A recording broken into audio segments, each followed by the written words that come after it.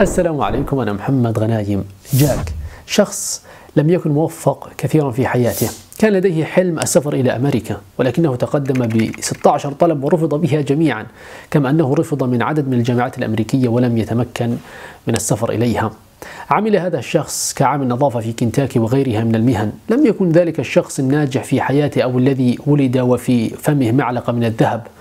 والآن ثروة هذا الشخص تقدر ب 26 مليار دولار. قصة هذا الرجل سأسردها عليك تباعا خلال أحداث هذه الحلقة. وموضوعنا اليوم لماذا تحول الشركات الخاصة نفسها إلى شركات عامة؟ أسس هذا الرجل شركة خاصة به. كان يتمنى في يوم من الأيام أن تنافس شركة أمازون الأمريكية.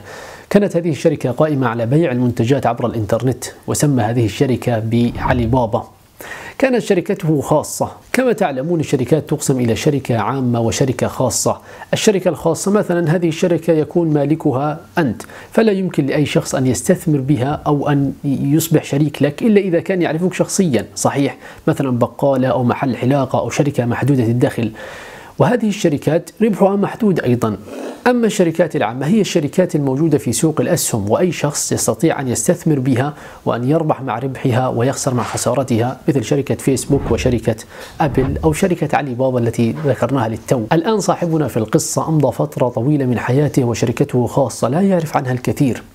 وهي محدودة الدخل فقرر أن يحول شركته إلى شركة عامة ليزيد ربحه هذه العملية تتم عبر مرحلة تسمى بال IPO وهي أن هذا الشخص يقوم ببيع جزء من حصته في شركته للمستثمرين. ولكن قبل أن تقبل شركته ضمن الشركات العامة لا بد على صاحب هذه الشركة الخاصة أن يقنع المستثمرين أن شركته ستحقق نتائج عالية وأرباح عالية في المستقبل. ويتم هذا الأمر من خلال ذهاب هذا الشخص صاحب الشركة الخاصة إلى المؤتمرات الكبيرة ويعرض رؤية شركته على كبار المستثمرين حتى يقتنعوا برؤيته وبالتالي يساعدوه في جعلها شركة عامة. وهكذا فعل صاحبنا في القصة.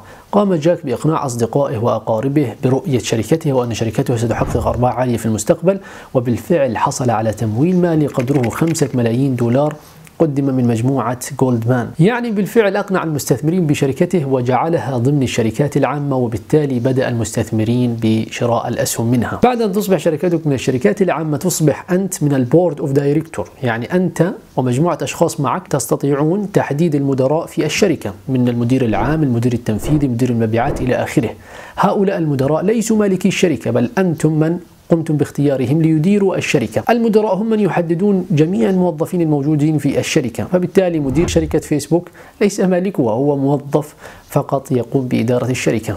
يعني أي شخص لديه أعلى نسبة أسهم في الشركة وفي العادة يكون مؤسس الشركة هو مالك الشركة أو من هذا المجلس كونه أنه يمتلك أكبر عدد من الفويت أو الأصوات في الشركة. ولكن لو جاء شخص الآن مثلي ومثلك وقرر أن يشتري أكبر نسبة أسهم في شركة ما هل يمكن أن يصبح من ال board of director؟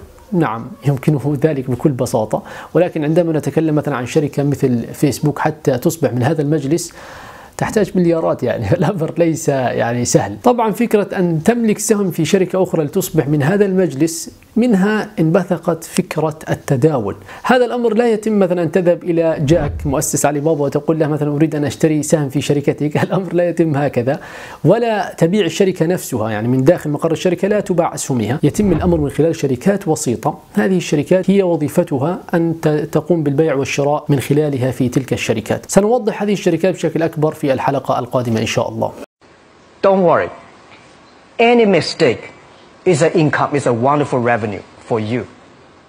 So I told myself and told my young people, before 20 years old, be a good student. When you do entrepreneur, just learn some experience. Before 30 years old, follow somebody. Go to a small company. Normally in a big company, it is good to learn processing you are a part of a big machine. But when you go to small company, you learn the passion, you learn the dreams. You learn how to do a lot of things at one, one time. So before 30 years old, it's not which company you go, it's which boss you follow. It's very important. A good boss teaches you differently.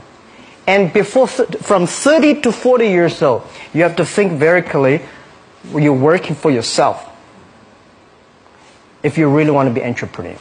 When you're 40 to 50 years old, You have to do all the things that you are good at. Don't try to jump into the new area. It's too late. You may be successful, but the, the rate of dying is too big.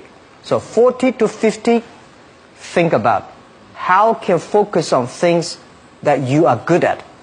But when you are 50 to 60 years old, work for the young people. Because young people can do better than you. So rely on them, invest on them, making sure they're good. So when you are over 60 years old, spend time for yourself.